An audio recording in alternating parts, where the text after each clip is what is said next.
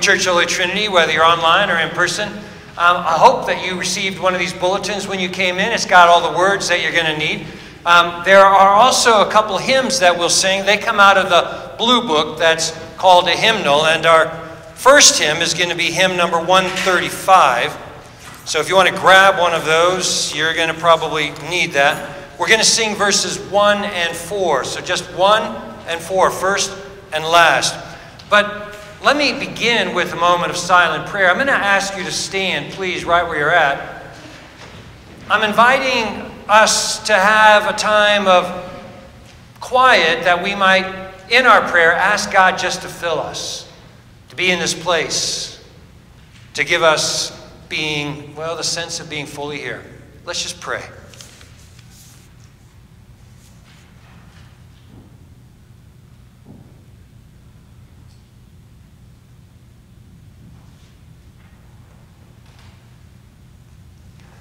Amen. Our opening processional hymn is Songs of Thankfulness and Praise, hymn 135, verses 1 and 4.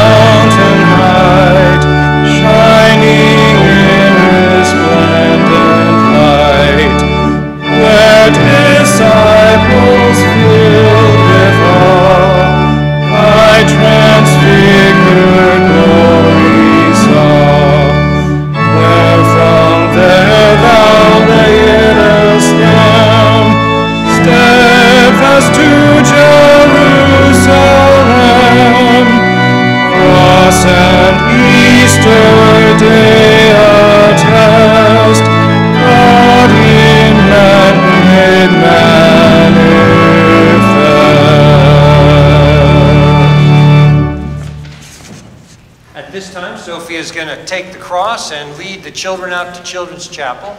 They'll be joining us again at the Peace.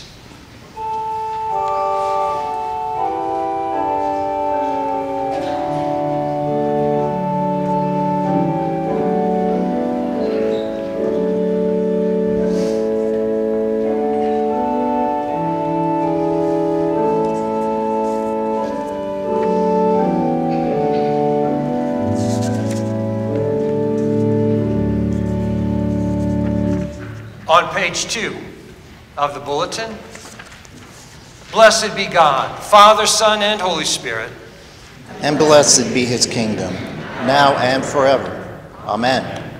Almighty God, to you all hearts are open, all desires known, and from you no secrets are hid. Cleanse the thoughts of our hearts by the inspiration of your Holy Spirit, that we may perfectly love you and worthily magnify your holy name through Christ our Lord Amen. Amen. Let's sing our Gloria. You can find it in the hymnal at S280, but here are the words right there in your bulletin. Let's sing.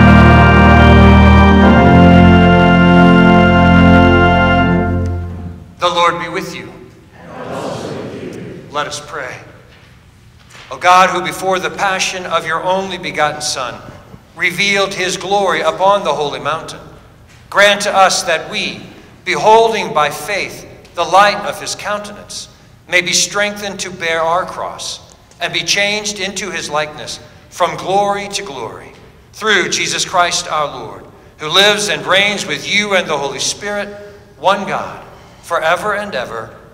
Amen. Amen. Please be seated for the reading of the word.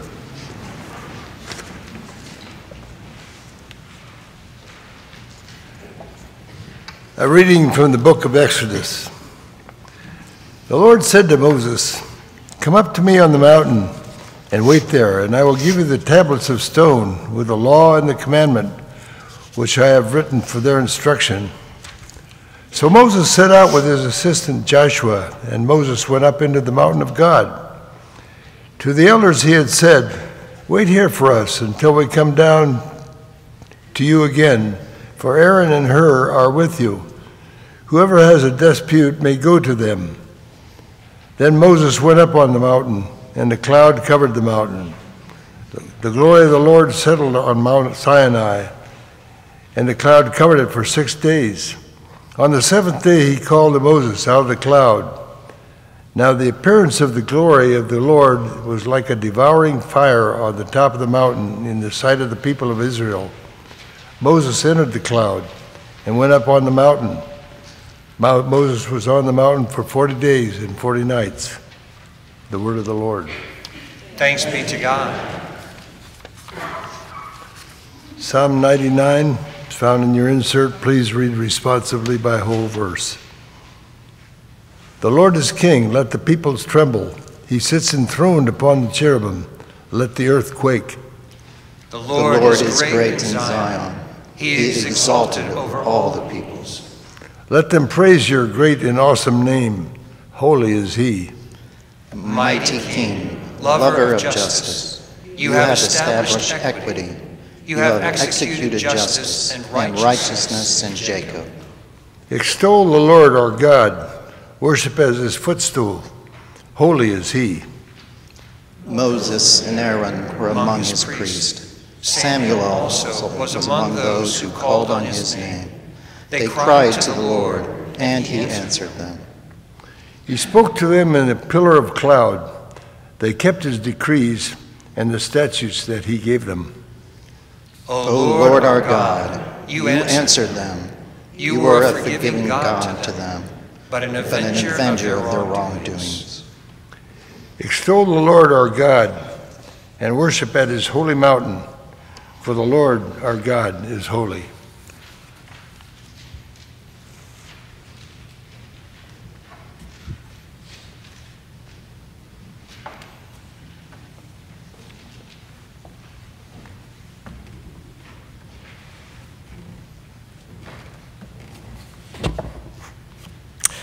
A reading from the second letter of Peter. We did not follow cleverly devised myths when we made known to you the power and coming of our Lord Jesus Christ, but we had been eyewitnesses of his majesty. For he received honor and glory from God the Father when that voice was conveyed to him by the majestic glory, saying, This is my Son, my beloved, with whom I am well pleased. We ourselves heard this voice come from heaven while we were with him on the holy mountain. So we have the prophetic message more fully confirmed. You will do well to be attentive to this as to a lamp shining in a dark place until the day dawns and the morning star rises in your hearts. First of all, you must understand this that no prophecy of Scripture is a matter of one's own interpretation because no prophecy ever came by human will, but men and women moved by the Holy Spirit spoke from God. The word of the Lord. Thanks, Thanks be to God. God.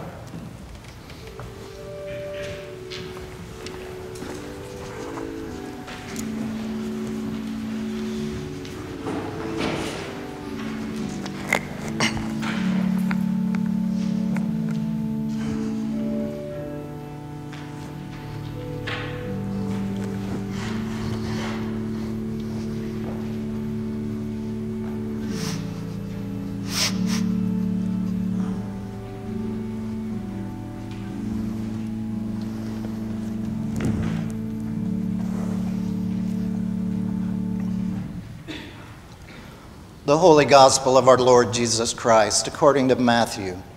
Glory to you, Lord Christ. Six days after Peter said that Jesus was the Christ, the Son of the living God, Jesus took with him Peter and James and his brother John and led them up a high mountain by themselves. And he was transfigured before them and his face shone like the sun, and his clothes became dazzling white. Suddenly, there appeared to them Moses and Elijah talking with him. Then Peter said to Jesus, Lord, it is good for us to be here. If you wish, I will make three dwellings here one for you, one for Moses, and one for Elijah. While he was still speaking, suddenly a bright cloud overshadowed them and from the cloud a voice said, This is my Son, the beloved. With him I am well pleased. Listen to him. When the disciples heard this, they fell to the ground and were overcome by fear. But Jesus came and touched them, saying, Get up and do not be afraid. And when they looked up, they saw no one except Jesus himself alone. As they were coming down the mountain, Jesus ordered them Tell no one about the vision until after the Son of Man has been raised from the dead. The Gospel of the Lord. Praise to you, Lord Christ.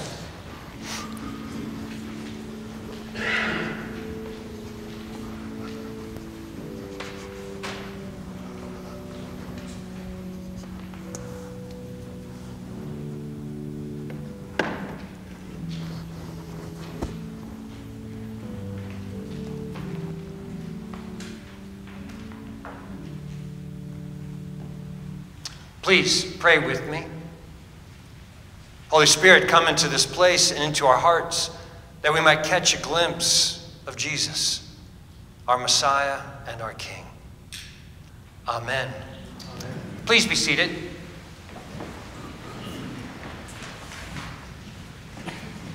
A few years ago, I became part of a, a select group of Americans.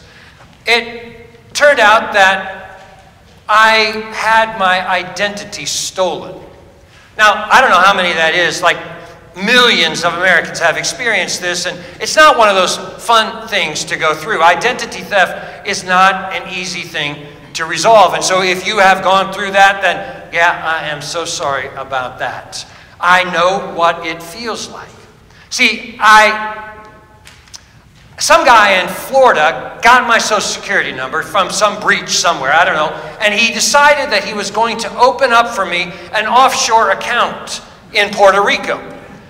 And so I got an email from the bank telling me that, uh, welcome to our bank family, and here's the charges that you have incurred. And I remember thinking, this is a problem.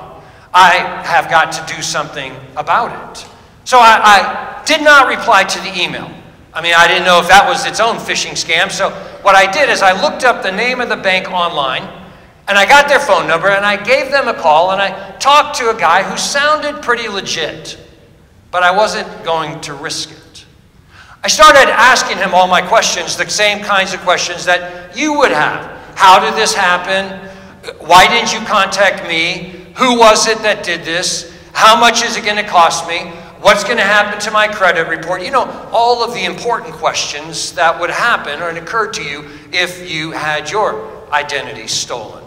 And the guy patiently answered everyone.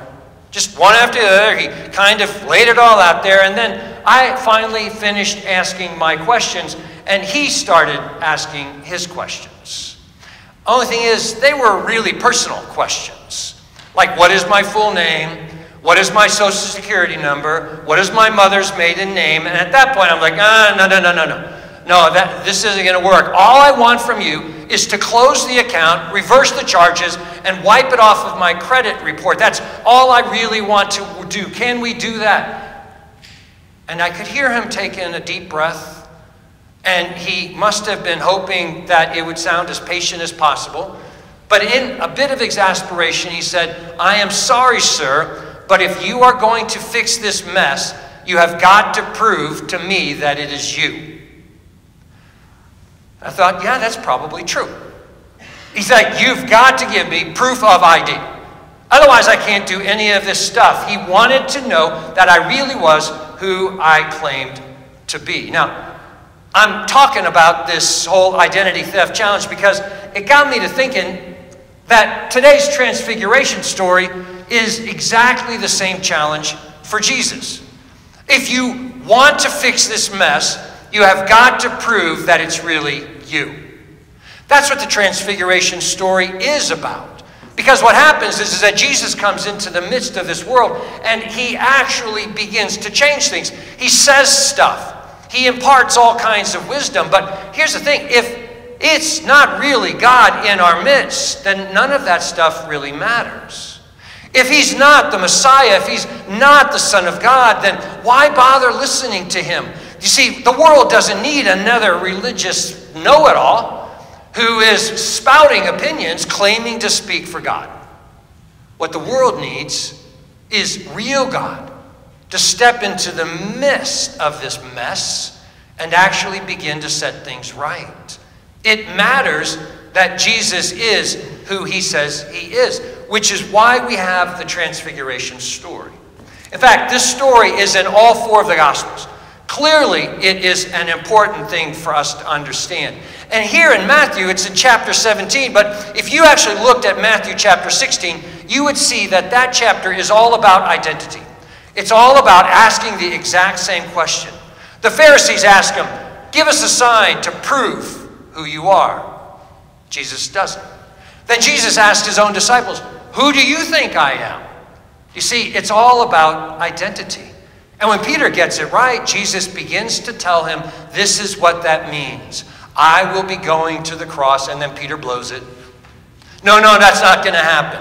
Now we get to verse the chapter 17, and it begins with Jesus proving his identity. You know the story. They go up on top of a mountain. Peter, James, and John, and Jesus. It's evening. They're there praying. The disciples are tired. It's probably been a long day. And then something on that happen changes them. They experience the transfiguration. And in that moment, three things happen. In fact, there are three proof of ID that Jesus gives them and us to convince us that Jesus really is the Messiah.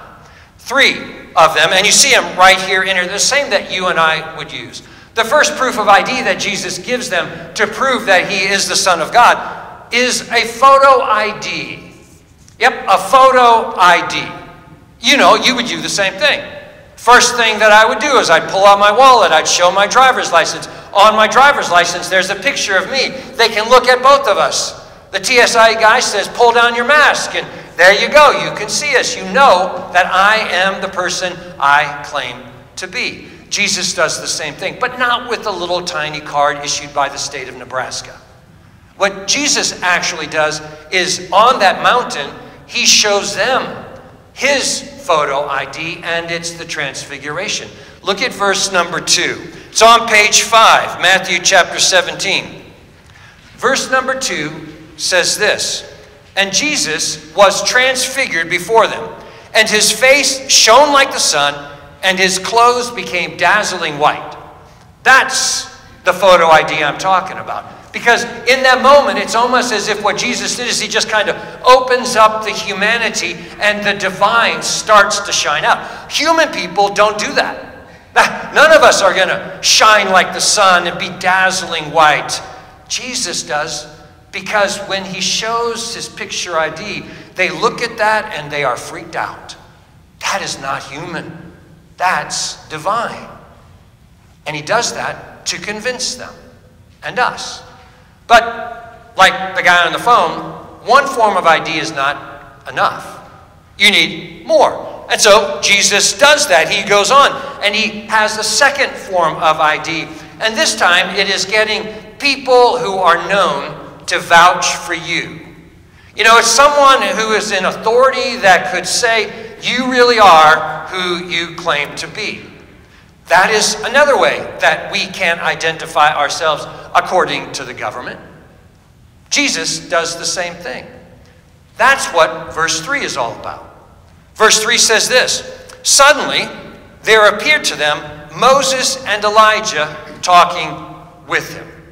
Now, clearly, these disciples are still reeling from the whole transfiguration, but they are have enough sense to notice these two people, and there's Moses and Elijah standing there talking to Jesus. And in a sense, Moses and Elijah, their whole point is to be there to prove and vouch that this Nazarene on this mountain is the Messiah.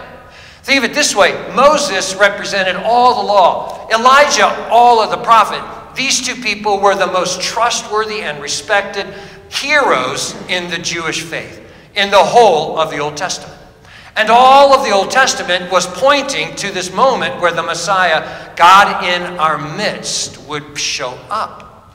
So when Moses and Elijah are there, the reason that they're there isn't just to talk to Jesus, but it is to prove to them and to us, to vouch that this Jesus is the Messiah, the Son of God. That's the second form of ID. And the third form of ID is something you and I don't get, at least not in my own personal experience. But Jesus does. And that second, third form of ID is a call from the cloud stating his identity. That's what verse number five is. While he was still speaking, suddenly a bright cloud overshadowed them. And from the cloud, a voice said, This is my son the beloved, with him I am well pleased. Listen to him. You see, that voice speaks out of the cloud, and it's like this big neon sign points right down, and it says, If you don't believe the transfiguration, if you don't believe Moses and Elijah, then believe me. That is the Messiah, the Son of God. And then the voice goes that extra mile, and that voice is the voice of our Father in heaven. And God says, Listen to him. Do what he says. Believe what he tells you. Live your lives the way that he is telling you to live your lives. And he's saying that not just because Jesus is another great moral teacher who actually has some ideas that could be beneficial to humanity. He's saying that because of his identity. Because this one person is God. And if God is speaking in our midst, we need to listen to him. You see, Jesus goes to an awful lot of trouble to prove his identity. And he knows that because he understands the importance of that to you and I. And once I understand that, then all kinds of things become possible. Jesus was willing to give us all of that. But I have to say, looking back on my own experience, I was not very willing. You see, once I got my head around that I had a problem, that there was things that I needed to do, I asked the guy on the phone, so how do I prove my identity? And he began to give me a list similar to the one I just gave you. He said, Well, you need to give us a copy of your photo ID. You need to give us a copy of the police report. You need a notarized affidavit that it is actually you. You need the most recent utility bill with your address on it. And I'm thinking to myself, what? Finally, he's done with his list, and, he, and I asked him, I said, Is that all? And he says, Yep, that should do it. And I said, No way. I'm not going to send him all of that stuff. I mean, I'm thinking in my head, this is exactly what an identity thief wants me to give them. In a sense, it's like a hacker jackpot. If I gave them all of that information, man, my whole life would be gone. I wouldn't even be me. And I'm thinking, this is not right. So I asked him the question that you probably would be thinking about. And I said this to him How do I know you're not the bad guy that started this mess in the first place? Good question. He had a good answer. He says, if I was the bad guy, do you really think I would be wasting this much time answering your questions? oh, geez, good point, because we had a half hour conversation. And then he said, Besides, Mr. Leon, ultimately, you are going to have to choose to trust me on this. And I thought, he's right. And doesn't that kind of work the same way with God. I mean, sure, I can do all kinds of research. I can freeze my credit and get the police report and all that stuff. But at the end of the day, I really do have to make a decision to trust this person. Every time someone tries to prove identity to you, it is a leap of faith. It is you choosing to believe this person. Sure, examine the evidence, but at the end of the day, I'm going to have to trust or not. All the things that Jesus does to convince us of his identity, and still the decision gets left up to you and to me. I remember putting all that stuff into the mail and sending it off and crossing my fingers and saying my prayers. And it was not an easy thing. I, I don't do that kind of thing very easily. And then I waited. One month later, I got a, a letter from them. Good news. They said, You have convinced us that you are you. Whew! Glad I am me. We have reversed the charges, we've closed your account, there is not a problem with your credit report. And then there was like this PS that seemed a little cheeky to me. It says, uh, Now that we've cleared that up, wouldn't you like to open an account with us? and I thought to myself, It's a good question. They now know that it's me, and I trust them. And isn't that the foundation of a relationship that could last a lifetime. See, that's what God is working on you and on me to get to. That point in the relationship where the foundation is rock solid. I know who I am and I trust Jesus because Jesus is the Messiah. Let's pray. Lord God, we thank you that you went to the trouble to come into our midst, to reveal yourself, to convince us that you are real, that you are the Son of God, that you are our Lord and King.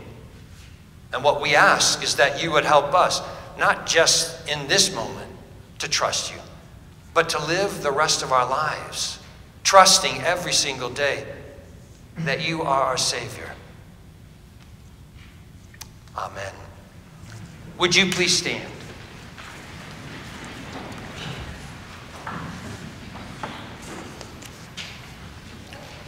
The service continues with the Nicene Creed, which you can find starting on page six of the service bulletin.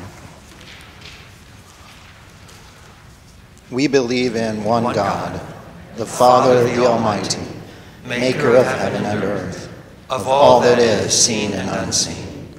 We believe in one Lord Jesus Christ, the only Son of God, eternally begotten of the Father, God from God, light from light true God from true God, begotten, not made, of one being with the Father. Through him all things were made. For us and for our salvation, he came down from heaven. By the power of the Holy Spirit, he became incarnate from the Virgin Mary and was made man. For our sake he was crucified under Pontius Pilate. He suffered death and was buried. On the third day he rose again in accordance with the Scriptures. He ascended into heaven and is seated at the right hand of the Father. He will come again in glory to judge the living and the dead, and his kingdom will have no end. We believe in the Holy Spirit, the Lord, the giver of life, who proceeds from the Father and the Son. With the Father and the Son he is worshipped and glorified. He has spoken through the prophets. We believe in one holy Catholic and Apostolic Church. We acknowledge one baptism for the forgiveness of sins. We look for the resurrection of the dead and the life of the world to come. Amen.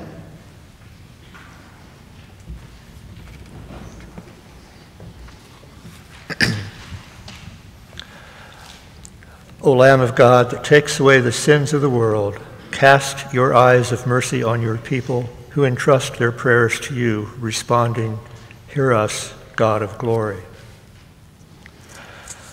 For the light of Christ that never fades away, that it may shine through our words and actions, revealing the saving grace of the Anointed One, let us pray. Hear, Hear us, God of glory. That the leaders and people of every nation may be willing to pay the price of peace through compromise, compassion, humility, and forbearance, let us pray. Hear us, God of glory.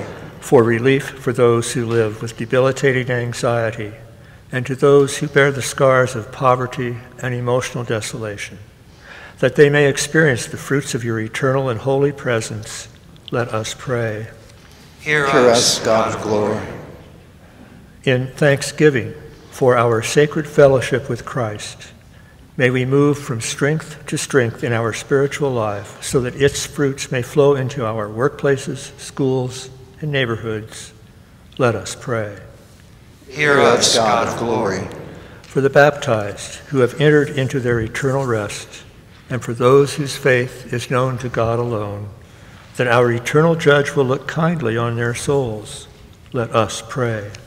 Hear us, Hear us God of glory that the true light that enlightens even the far reaches of the universe and the deep recesses of the sea will open our eyes to the beauty of creation and encourage us to be good stewards of its bountiful gifts.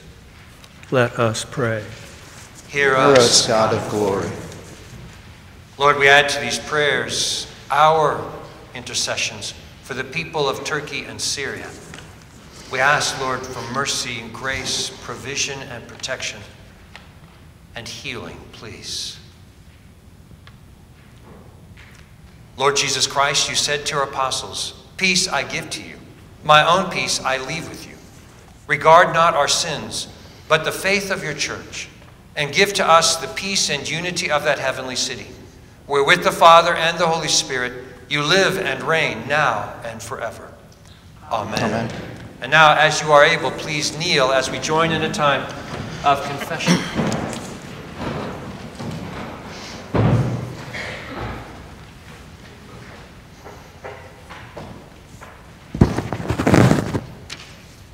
Together, let us confess our sins against God and our neighbor.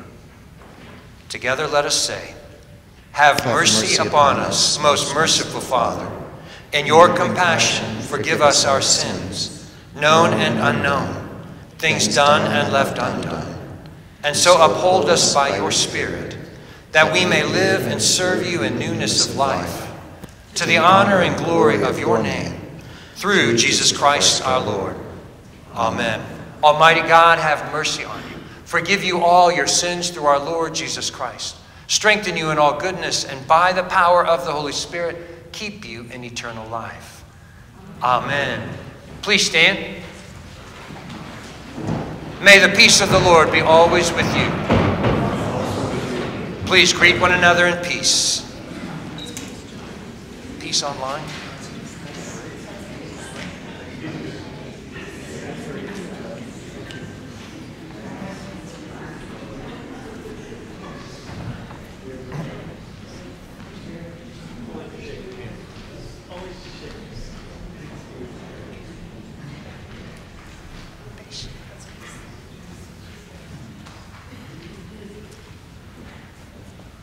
You may be seated. There's several announcements I want to point out to you. If you look on page 13, there's some information there in the bulletin. Um, Lent starts on Wednesday. It is Ash Wednesday that is coming up. So just if you're in the note, Lent starts on Wednesday. That means on Tuesday we have our Shrove Tuesday pancake supper. Um, you can see that it's from 4:30 to 7 o'clock. Uh, there is a charge, five o'clock, five dollars per person, twenty dollar max, I think, for the families. Did I get that right, Nicole? All right, perfect. Um, and it's from 4:30 to 7, so you can drop in whenever you want to come. And then on Wednesday we have Ash Wednesday services, and we have three services that day here in person: 7 a.m. in the morning, noon, and then 7 p.m. And the 7 p.m. service will be live streamed so that if you're with us online, you will be able to join us that way. So I'd encourage you, um, find one of those service times that would work for you. There's information on our devotionals. Um, you can see we've got our men's lunch and learn that's happening today in the memorial room. But if you turn to the next page, there's a couple things I wanted to point out. Um, we're still taking signups for Windows on the Cross. That's our Lenten program happening on Wednesdays. There's an announcement in there about the women's ministry debut event, and I got that wrong. So, like, totally my fault. Don't, don't believe anything I tell you about that specific announcement. Um, that isn't going to happen on February 26th. It's going to be happening later, and you'll hear more information about that. Uh, the other thing is the kids are going to be joining us here in just a second. And uh, next Sunday, on February 26th, the kids that have been going out are going to actually uh, do the offertory. Uh, they're going to be singing to us what is that they have been learning. So I would encourage you, bring them all back. The bigger the choir, the more beautiful the sound, especially if it's your kid that's up there singing. So welcome back, Abner. Good to see you. Glad you're here. Um, are there any birthdays or wedding anniversaries that we could pray for today?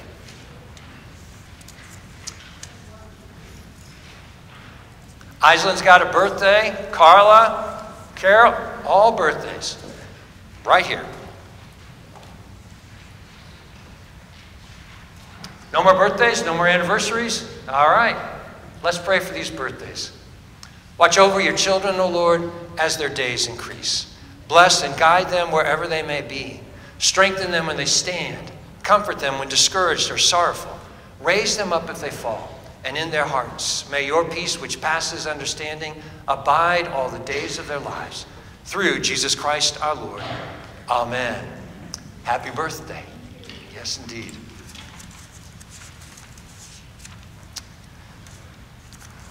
Ascribe unto the Lord the honor due his name. Bring your offerings. Come into his courts with praise.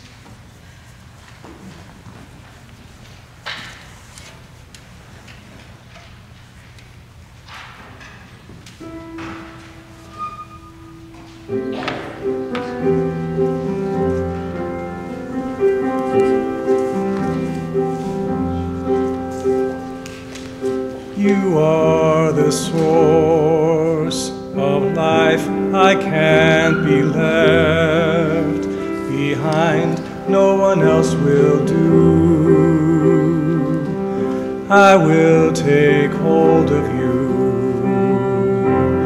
Cause I need you, Jesus, to come to my rescue.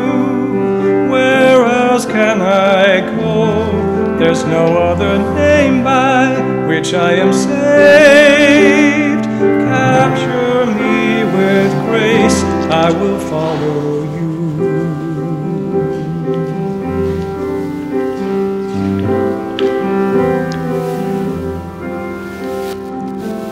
My heart is yours for life.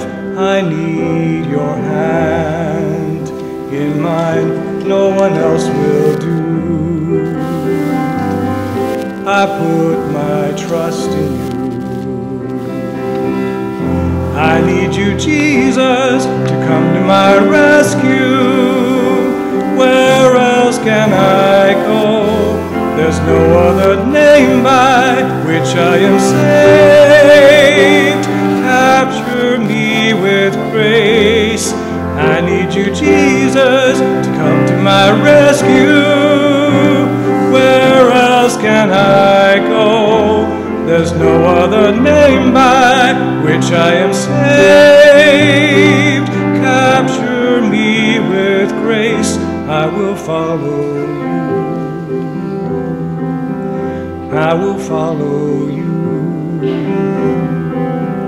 I will follow you. This world has nothing for me. I will follow you. This world has nothing for me. I will follow you. This world has nothing for me. I will follow you. This world has nothing for me. I need you, Jesus, to come to my rescue. Where else can I go? There's no other name by which I am saved. Capture me with grace. I need you, Jesus, to come to my rescue. Where else can I go? There's no other name by which I am saved. Oh no, capture me with grace. Won't you capture me grace. Come and capture me with grace. I will follow you.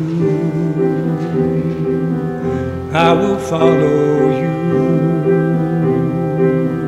I will follow you. I will follow you.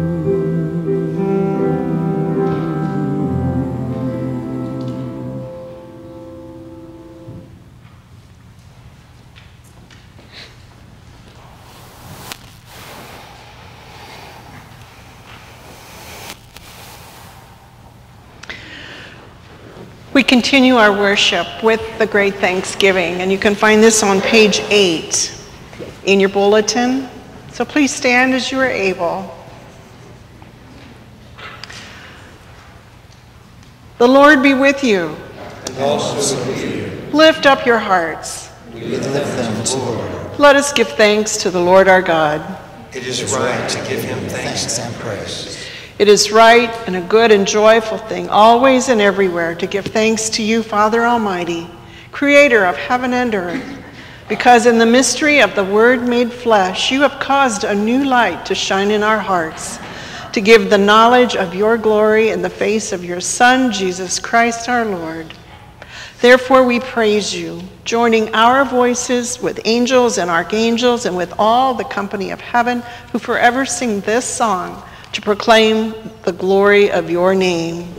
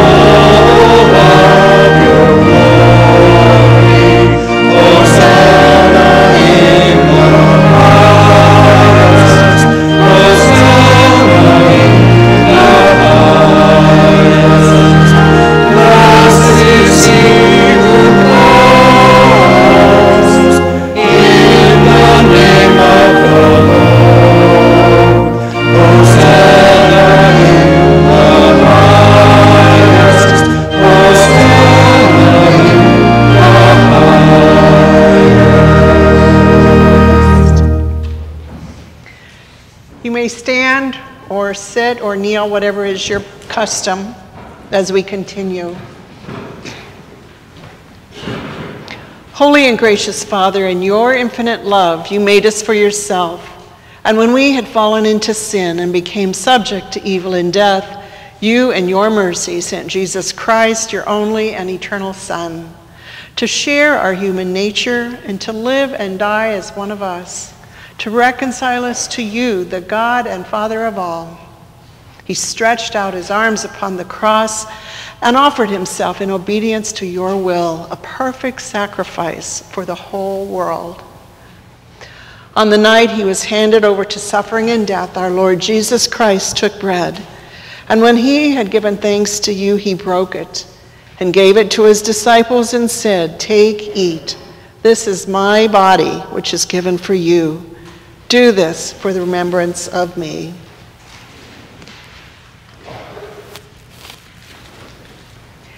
After supper, he took the cup of wine, and when he had given thanks, he gave it to them and said, Drink this, all of you.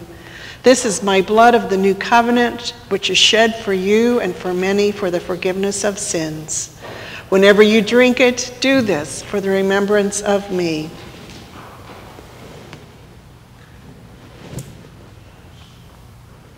Therefore, we proclaim the mystery of faith. Christ has died, Christ is risen, Christ will come again. And we celebrate the memorial of our redemption, O Father, in this sacrifice of praise and thanksgiving. Recalling his death, resurrection, and ascension, we offer you these gifts. Sanctify them by your Holy Spirit to be for your people the holy food and drink of new and unending life in him. Sanctify us also, that we may faithfully receive this holy sacrament and serve you in unity, constancy, and peace. And at the last day, bring us with all your saints into the joy of your eternal kingdom.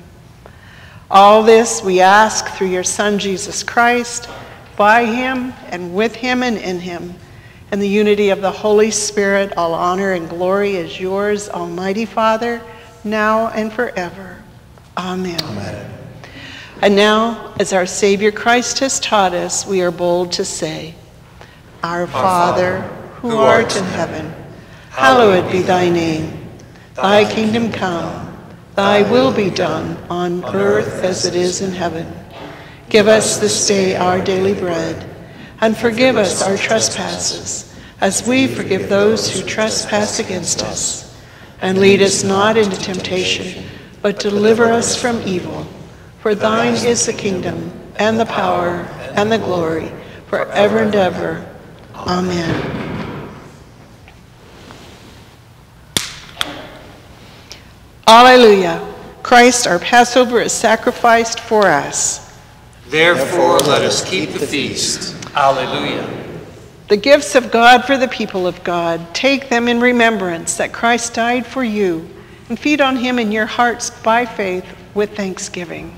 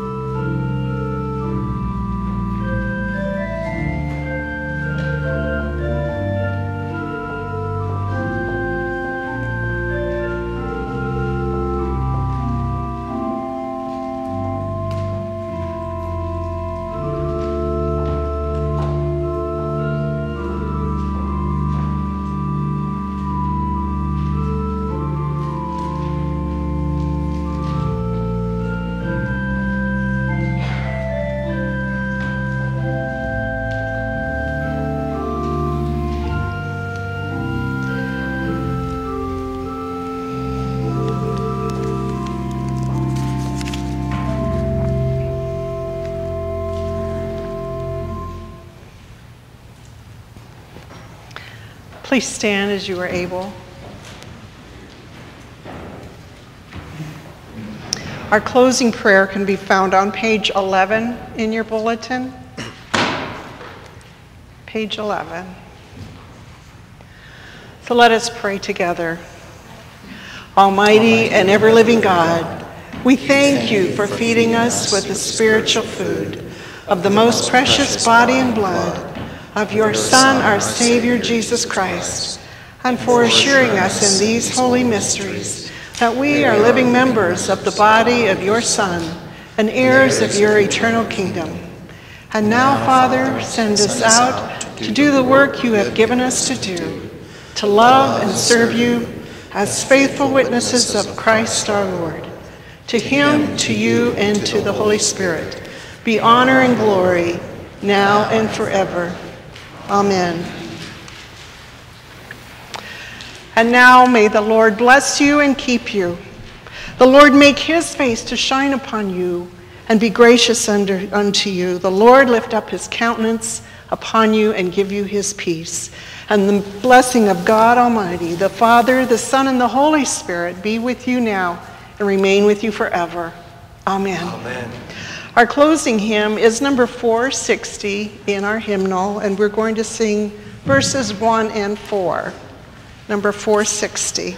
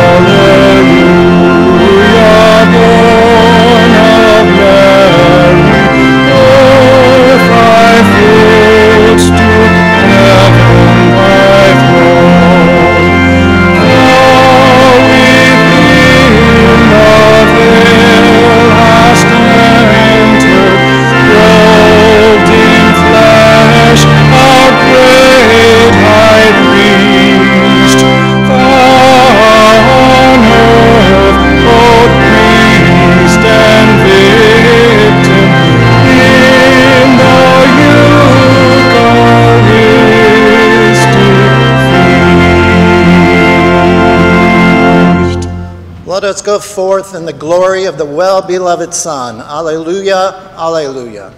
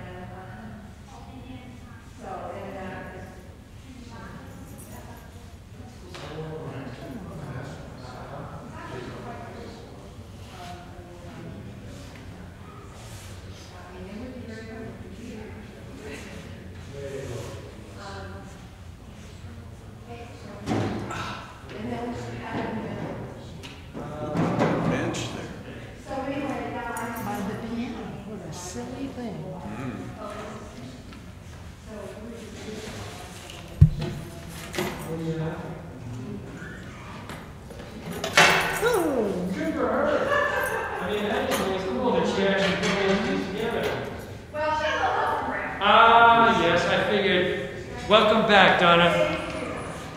All right, Edward, are you breaking things up here? Uh, no, that was Loretta.